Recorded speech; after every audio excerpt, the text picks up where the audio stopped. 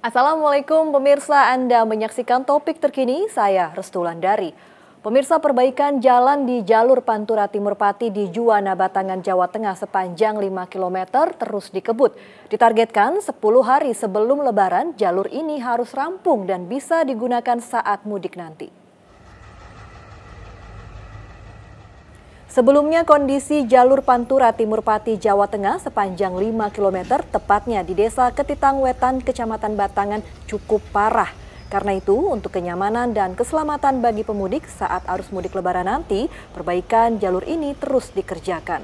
Di jalan sepanjang 5 km ini terdapat 5 titik yang kondisinya cukup parah dan sampai saat ini baru sepanjang 1 km jalan yang sudah selesai dikerjakan.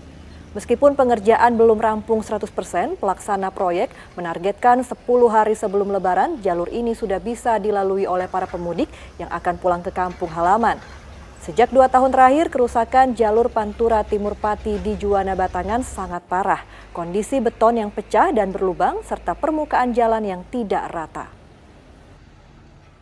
Pemirsa demikian topik terkini, informasi terkini dan menarik lainnya dapat Anda temui di portal kami antvklik.com.